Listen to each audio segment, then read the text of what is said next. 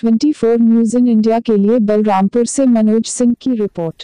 जिला बलरामपुर में 2 अक्टूबर को राष्ट्रपिता महात्मा गांधी की 150वीं जयंती के अवसर पर थाना महाराजगंज तराई में ध्वजारोहण किया गया।